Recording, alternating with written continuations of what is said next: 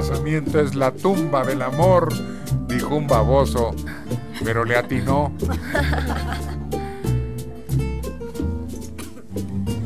Polo Sánchez, el arrepentido, por si hubiera casado con su Regina. 7, 16.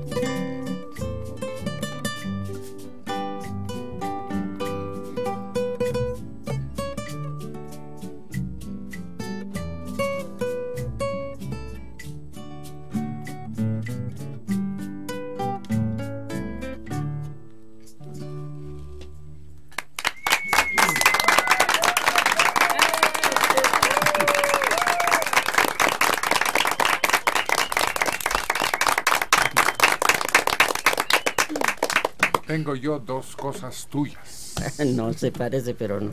¿No es? No, devuélveme el corazón. Ah, pues son muy similares. Sí, más la música más o menos. Ah, pues no toques esas melodías que se prestan a confusión.